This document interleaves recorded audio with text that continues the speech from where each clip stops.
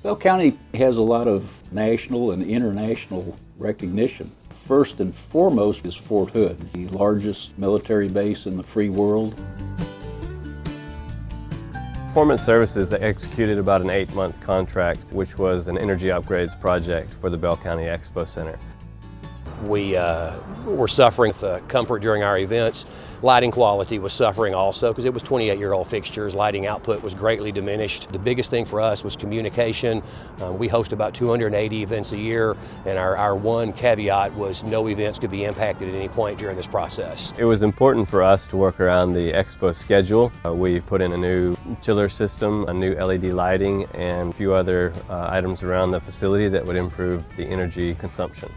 The entire performance services team were invaluable to the project. The flow of information, the sensitivity to our events and our needs was never in question. We needed to make sure that the conditions of the space were, uh, were maintained while the customers were in the building. PSI was phenomenal at working with the expo staff and making sure that, that whatever it took, whether it be portable equipment brought in so that the existing equipment was able to, to serve its purpose or, or whatever other things that needed to be done was taken care of. Another key part of the project was upgrading the pneumatic control system in the Expo to a full DDC system. The DDC system allows the building operators uh, more visibility of what's going on in their facility. They're able to see the temperatures and the, the airflows and what their chill water plant is doing. We were not managing our humidity levels before necessarily, we're just managing temperature.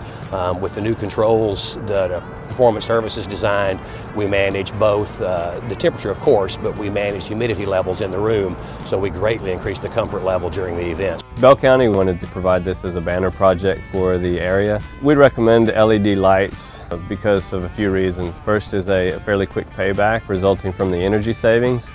The second is the improved lighting conditions. The biggest thing we saw with LED was color temperature and, and, accuracy of color temperature across the facility. The LEDs are instant on and in our arena we're actually able to manage all the lighting on dimmers uh, off just a wireless tablet. The user interface with the iPad allows them an easy way to adapt from one event to the next. Prior really to this project there was no cohesive energy policy in the county.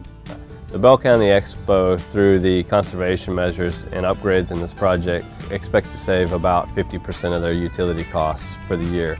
We had extreme confidence with Performance Services very early on. Uh, we, we formed a great team with them from engineering and project management. Um, the technology is nothing if it's not used correctly, and, and that, that was the part that I had the most concern about, and that was the part that which I have the greatest peace with.